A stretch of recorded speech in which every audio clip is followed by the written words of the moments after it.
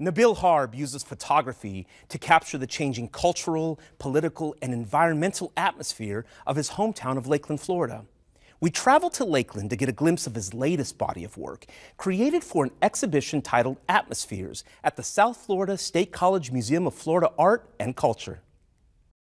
I always like to joke that half the reason I'm a photographer is because I'm nosy and I like to get into things and I am always curious like what's going on in that building, what's going on in this part of town. I may not have an aim, I, there's maybe not something I specifically want from these places other than to see what's going on and I found that having a camera is a really great excuse. I like living in Lakeland because I'm from here originally. I was born and raised here, but I've always made my work here, my photographic work. I have a lot of connections in this area that allow my work to be possible. Um, that's a really important part of my practice is access to places. For instance, going to uh, orange groves or old jails that are no longer in use, um, kind of like old parks and places that sort of have this uh, historical tie to it that I'm really interested in checking out. Atmospheres is a new body of work that I've created there's a lot of thinking of movement in history, movement, whether it's the movement of water, the movement of people and cars, like through highways, and, and thinking a lot about the relationship between the infrastructure and the water. Uh, because that's a big part of Florida for me and something I've really thought about a lot is how can I let the environment of Florida into my work? In Nabil's work, we're seeing his memories and his personal history layered on top of all these different places in Lakeland. And we're seeing local history, local culture, but he's also packing in a ton of sensory information into his images as well. You really feel like you're in these heavy, muggy Florida environments when you're looking at his pictures.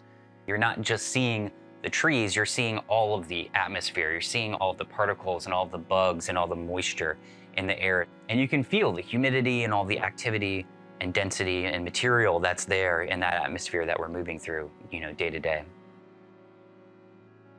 Whirlpool is um, yet another, I think, example of the uh, the personal, political, historical layers that exist just in any of my pictures.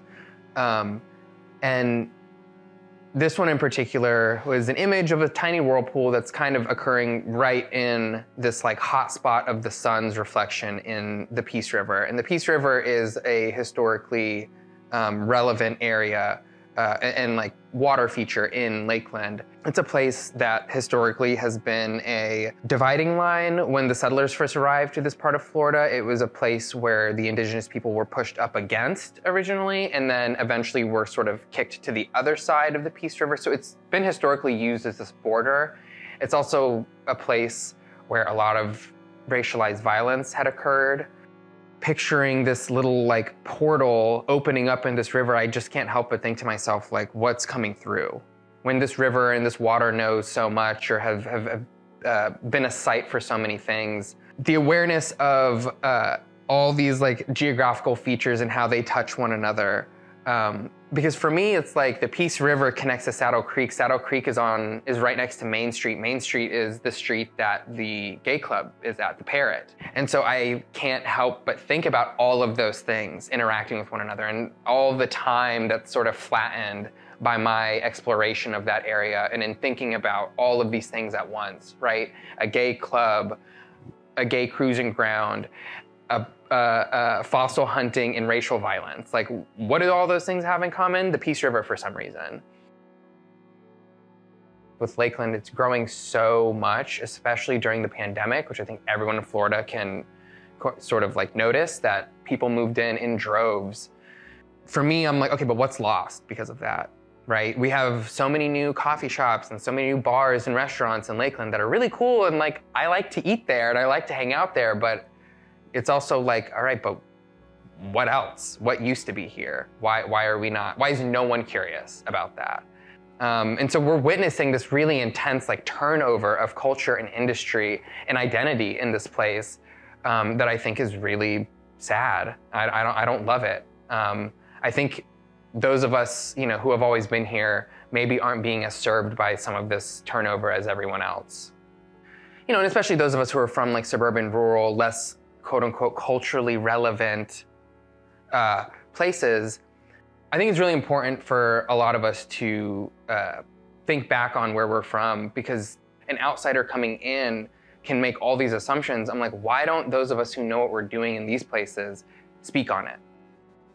I think Nabil's work shows that even if you live in a small town or in an isolated location, you might feel like there's not a lot going on, but there is a lot going on wherever you are if you look for it. If you look at your hometown with these eyes that other people who aren't from this place don't have for this area, you can see things that other people won't. And so I would hope that maybe a, a, larger theme of this work is for people to think about where they're from and think about the history and the magic of that.